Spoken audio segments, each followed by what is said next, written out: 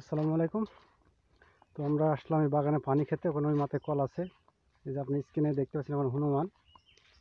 বাচ্চা আছে ছোটো ছোটো এখন যেহেতু আমের বাগান, এই আম বাগানে এসছে। আম আমও খাবে, দেখা যাচ্ছে গাছ ছায়া তলায় বসেও আছে।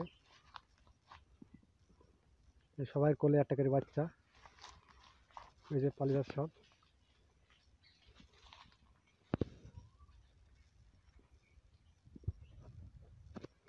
যে এত তাপমাত্রার কারণে দেখা সব গাছের তলায় বসে বসে বসে আছে সবাই কোলে একটা করে বাচ্চা সে পালিয়ে যাচ্ছে।